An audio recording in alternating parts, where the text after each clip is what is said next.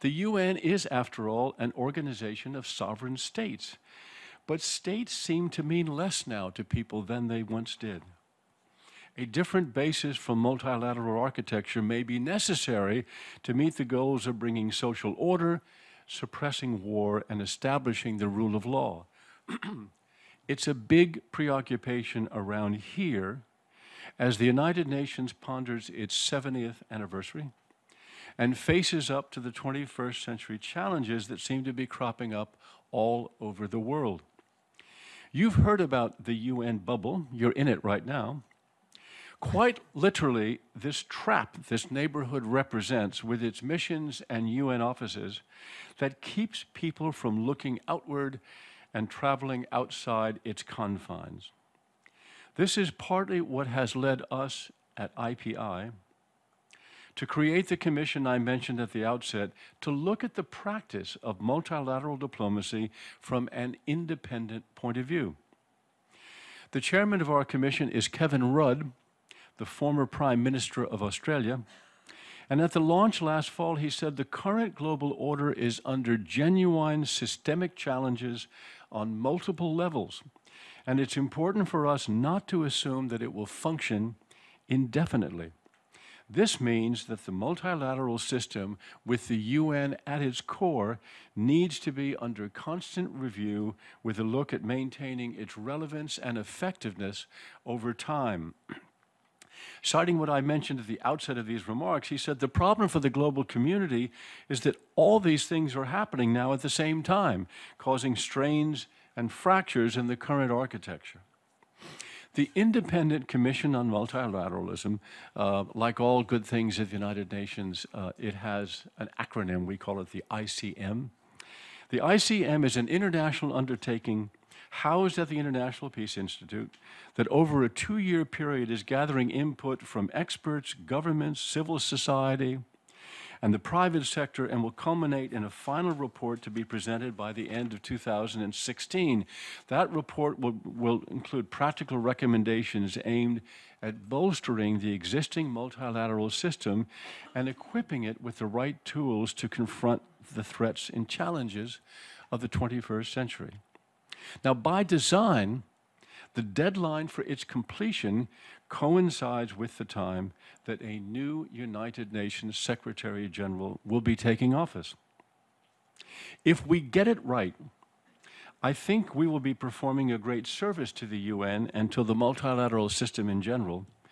And I say that remembering the time when the current Secretary General, Ban Ki moon, came into office in 2007. I was then the New York Times correspondent covering the UN.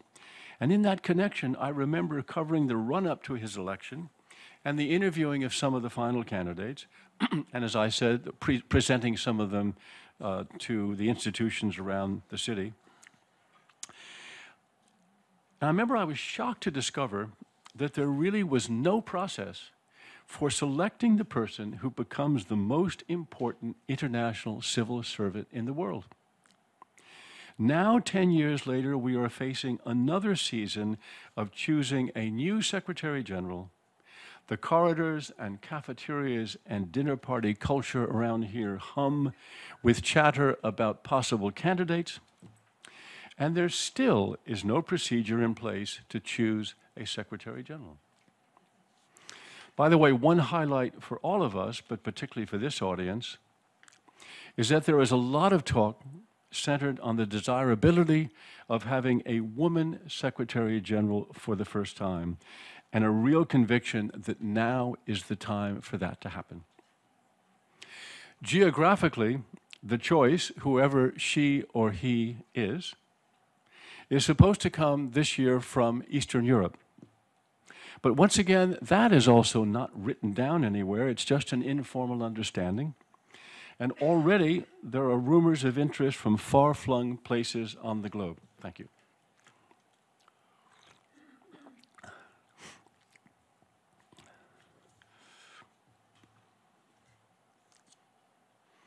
I momentarily lost my place here, but I'm glad to have that glass of water. Let me do that again.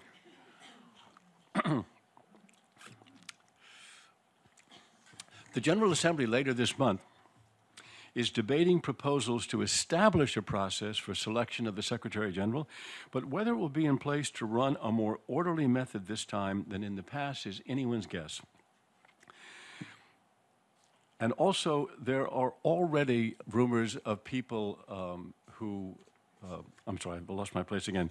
Going back to the experience of selecting a new Secretary General in 2006, at the time, the Council on Foreign Relations asked me to preside, as I just mentioned to you, at Mr. Ban's initial appearance there as he made known his candidacy to an audience of several hundred council members.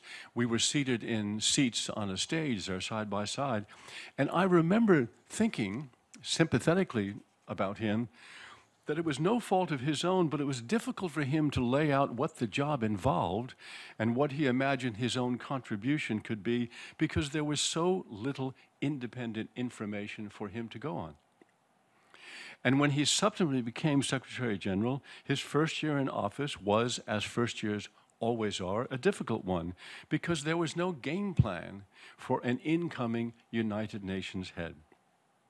That's just the kind of gap in knowledge that this independent commission we have means to fill.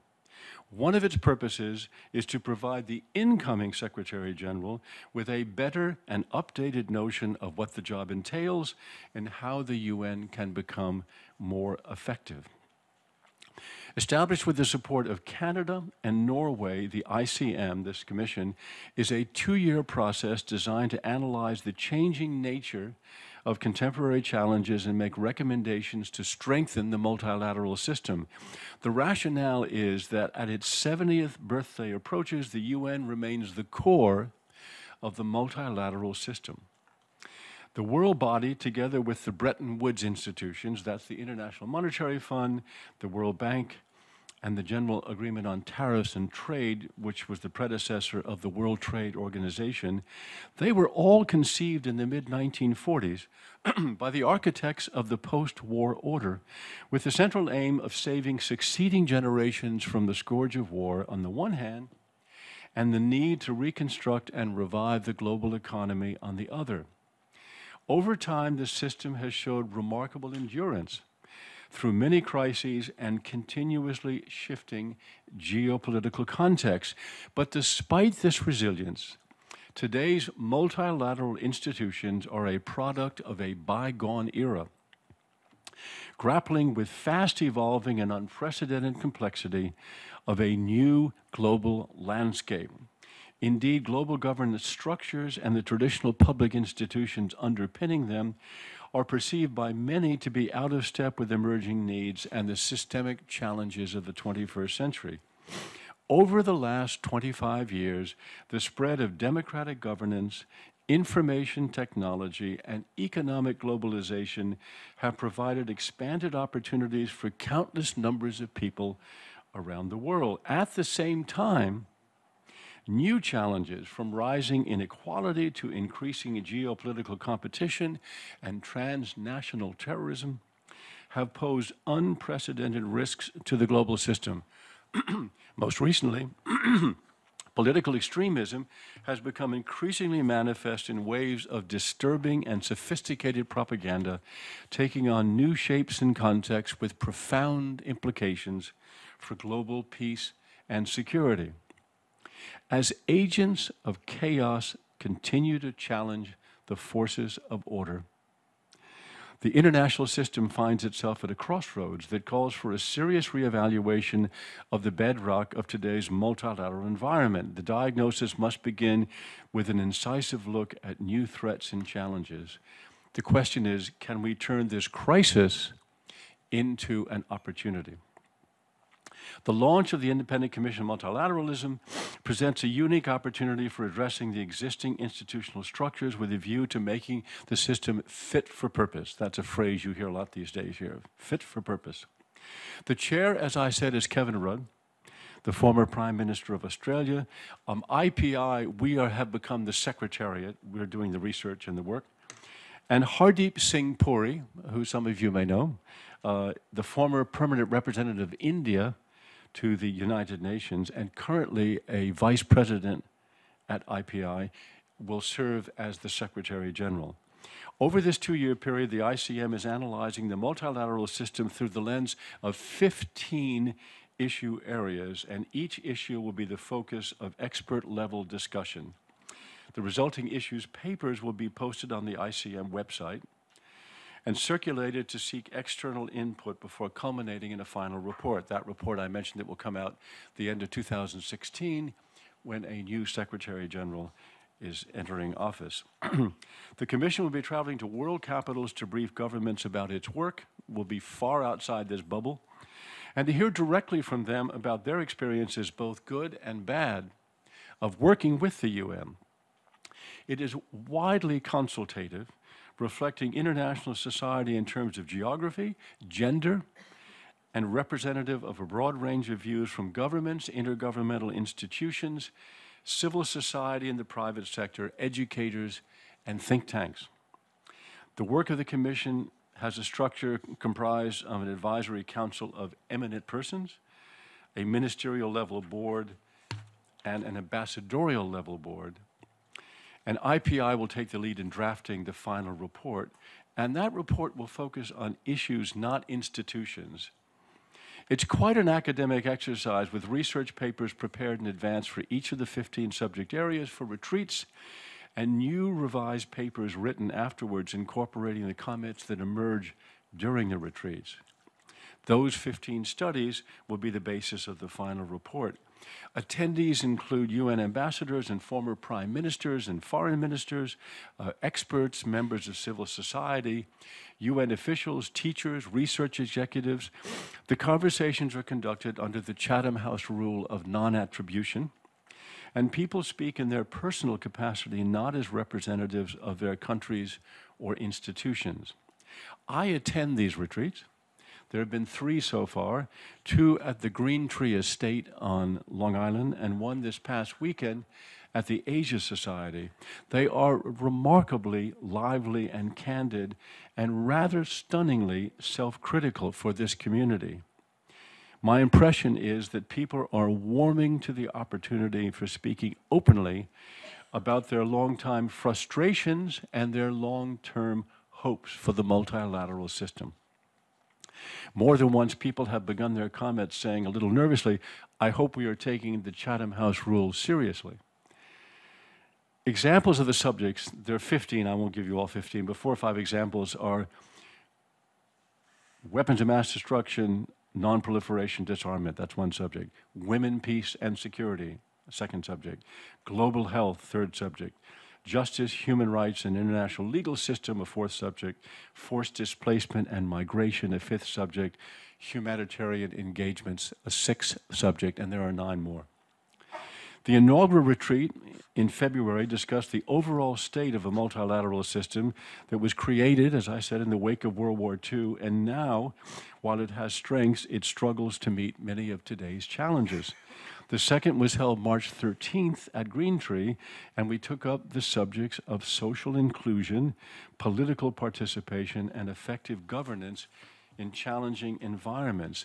And the third retreat, held just this past weekend at the Asia Society, addressed terrorism, including issues related to ideology, identity politics, and organized crime. We looked at the drivers of terrorism, the UN's counterterrorism architecture, and the present role of the multilateral system in the fight against terrorism.